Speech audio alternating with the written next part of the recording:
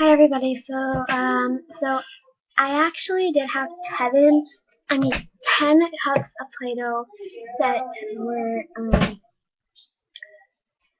like bad and then I have five well, five cups of Play-Doh right here that are good. So there's this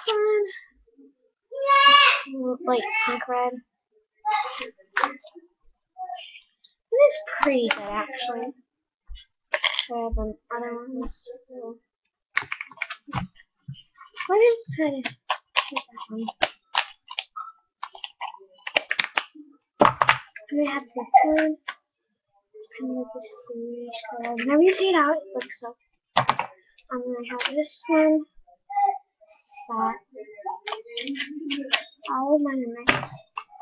Um, I to feel them. So pretty.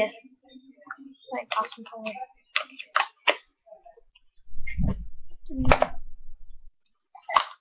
I have. So I know I said I was gonna like kind of um, show the pieces. And so I'm not gonna have any in my next video.